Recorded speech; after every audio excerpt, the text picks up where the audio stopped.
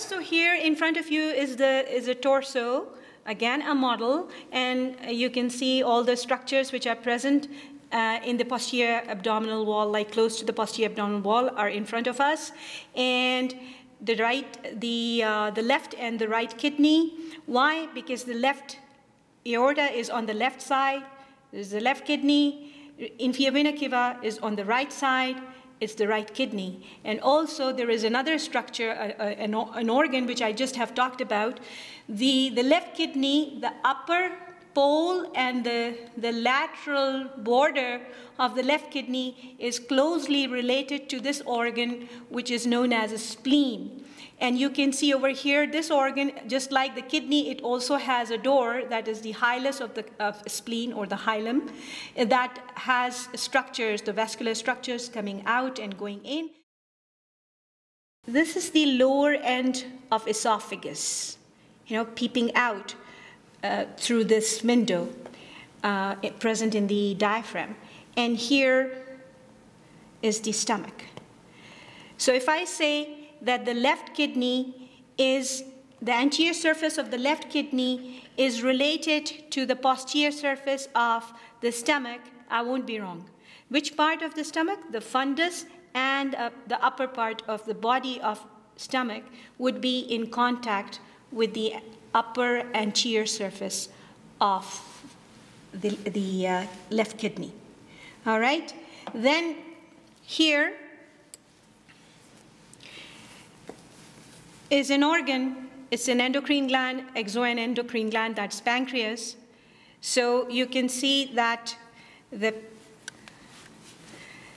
the pancreas is running diagonally or rather transversely in the body. The tail of the pancreas is lying in front of the hilus of the left kidney. All right? So the, the, the hilus or hilum of the left kidney is closely related to the tail of the pancreas. Here is the, the, the this grayish brown colored structure is the great, large intestine or the colon. So the, this left colic flexure and the descending colon will be related to the anterior surface of left kidney. So we have spleen occupying the, the superior compartment and the, uh, the upper lateral border of the left kidney is related to the spleen. Then we have stomach. The, the posterior surface of the stomach is related to the anterior surface of the, right, the left kidney.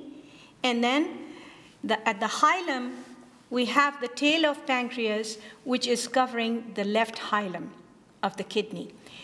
The, the transverse left, trans, uh, left colic flexure is related to the lower pole, uh, anterior surface of the lower pole of left kidney. Okay? Now we come to the right side, or the right kidney. Here is an organ which is the largest gland of the body. This is liver. And I told you that when we were discussing the position of the kidney, the two kidneys, I told you that the right kidney is slightly at a lower level as compared to the left kidney because of the presence of this organ or gland, the liver. So the right lobe of liver, this is the right lobe of liver, it's completely, it's in fact partially obscuring the upper pole of the right kidney. So the, the, just like the upper pole of the left kidney is related to the spleen, the upper pole of the right kidney is related to the liver. And here, so we have the, yeah, so we have the stomach, and the stomach, the, the pyloric end of the stomach is continuing itself as the duodenum.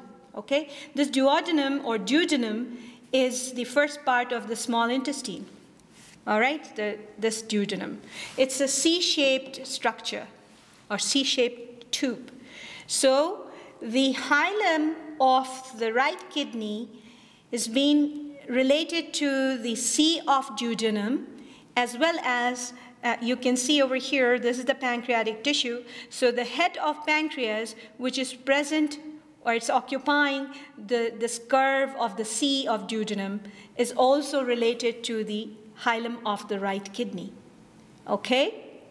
So we can say the right kidney, when it comes to the visceral relations of the anterior surface of right kidney, the liver, uh, the visceral surface of the liver, the, uh, the duodenum, especially the vertical part of duodenum, and the uh, head of pancreas. All these organs, or the parts of the organs, are related to the anterior surface of the right kidney.